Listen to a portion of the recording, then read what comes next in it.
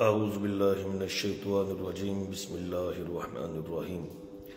جز اللہ عنا سیدنا محمد صلی اللہ علیہ وسلم وآلہ والسلام علیکم ورحمۃ اللہ وبرکاتہ۔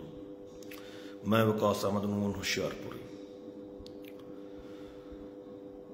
ہم یقین سے محروم لوگ، ایمان تو الحمدللہ ہم سب کے پاس ہے، اللہ کا شکر، اللہ کا شکر۔ ہے ہمارے ایک کان میں اذان دی گئی، ایک کان میں اقامت پڑی گئی۔ اللہ کا شکر ہے، ہم بائی برتھ مسلمان ہیں۔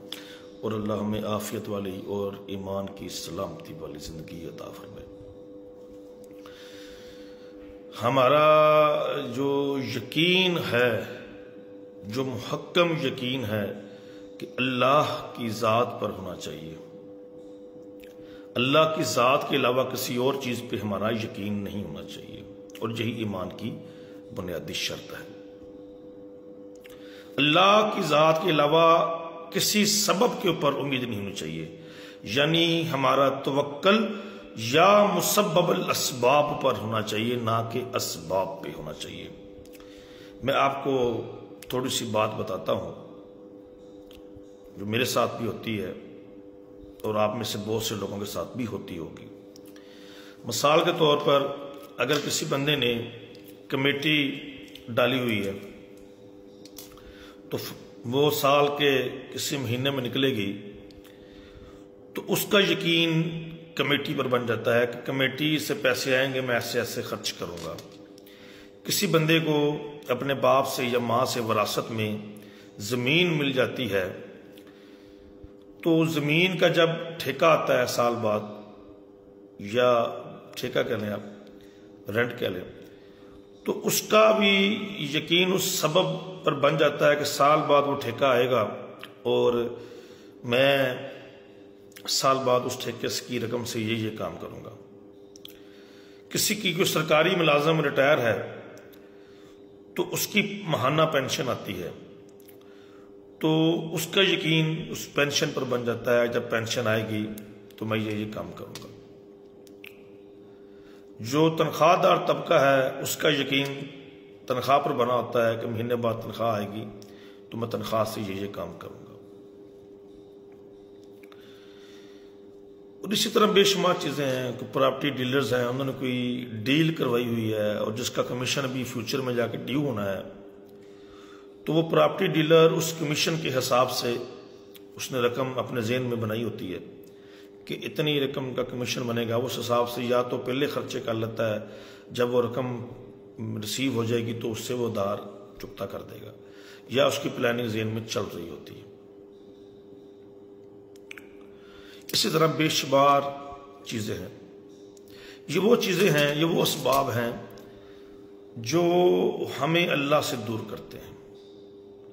ہماری جو لائن ہے نماز پڑھتے ہوئے بھی ہم نماز پڑھ پڑھ رہے ہیں، اللہ کے حضور پیش ہے مگر ہماری لائن، ہمارا کنیکشن اللہ کے ساتھ نہیں بن رہا ہوتا۔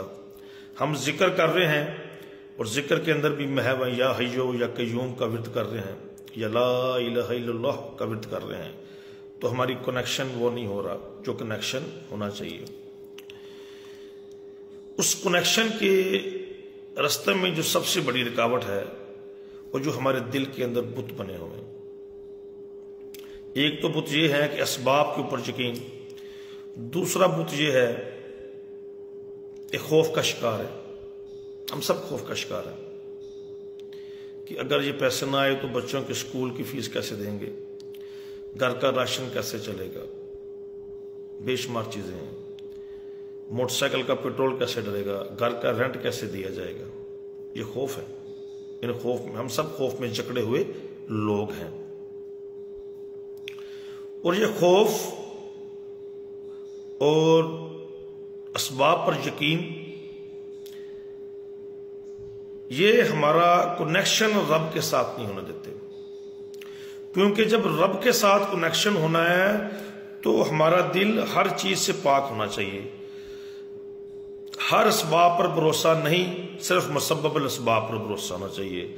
کسی خوف سے ڈرنا نہیں، صرف یا اللہ یا رحمان یا کہارو سے ڈرنا چاہیے۔ جب تک یہ کیفیت ہر مسلمان کے اندر، ہر انڈیویجول کے اندر نہیں آئے گی، تو نہ زندگی جینے کا مزہ آئے گا، نہ نماز پڑھنے کا مزہ آئے گا، نہ روزہ رکھنے کا مزہ آئے گا، نہ ذکر کرنے کا مزہ آئے گا، نہ قرآن کریم کی تلاوت کرنے میں مزہ آئے گا۔ خوف کی وجہ سے آج امہ بحران کا شکار ہے۔ امہ کو کیا خوف ہے؟ کیا خوف ہو سکتا ہے امہ کو؟ بچپن سے پڑھتے ہیں، کلو نفس ذائقت الموت۔ ہر نفس نے موت کا ذائقہ چکھنا ہے۔ پھر بھی امہ ڈرتی ہے جنگ کرنے سے، جہاد کرنے سے۔ آج فلسطین کے اندر جو معاملہ درپیش ہے، ناقابل بیان ہے۔ ہم تو صرف یہاں بیٹھ کر باتیں کر سکتے ہیں۔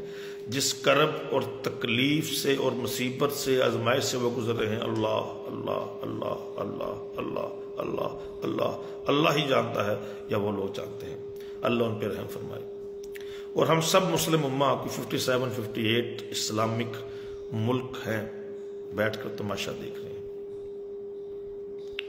یہ نہیں کہ گرے پرے ملک ہیں، الحمدللہ پاکستان ایک اٹومک پاور ہے، ایران ایک بہت بڑی سپر کہہ لیں کہ پاور ہے ترکیہ ایک بہت بڑی اسلامی قوت ہے، سعودی عرب ایک بہت بڑی معاشی قوت ہے، متحدہ امارات ایک بہت بڑی معاشی قوت ہے۔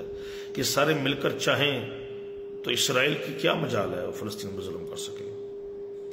جہاں پاکستان سے جی ایف سیونٹین تھنڈر جائیں، ترکی سے تیارے جائیں، ایران سے تیارے جائیں، مصر سے تیارے جائیں سعودی عرب سے پیسے جائیں جہازوں کو تیل کے لیے، کیا جرت ان کی؟ جرت بنتی ہے ان کی؟ ان کی اندر ہمت بھی نہیں ہوگی۔ مگر کیا ہے، ہم لوگ ہمارے حکمران بھی خوف میں ڈرے ہوئے اگر جنگ کر دی تو ہم پہ امریکہ یا اسرائیل یا ہندوستان حملہ کر دے گا۔ تو یہ معاملہ درپیش ہو جائے گا۔ ہمارا ملک تو آگے معاشی طور پر بدحال ہے۔ تو یہ ہے وہ فلاں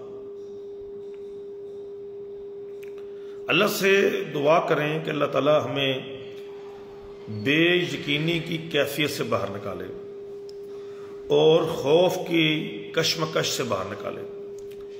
کیونکہ بے یقینی جو کیفیت ہے اور جو خوف کی کشمکش ہے، آپ جی تو رہے ہوتے ہیں مگر آپ مردہ ہوتے ہیں۔ آپ کی جو روح ہے،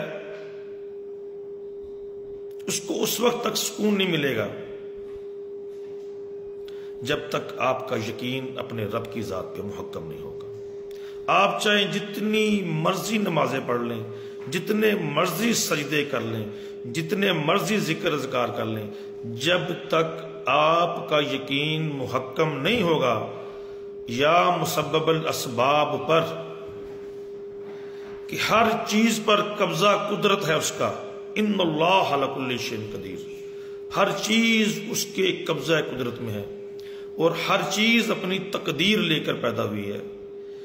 یہ جو ہم مستقبل کے بارے میں سوچنا شروع کر دیتے ہیں کہ کل کیا ہوگا، کل کیا کھانا بنے گا، پیسے جیب میں نہیں ہے یہ پریشانی، وہ پریشانی۔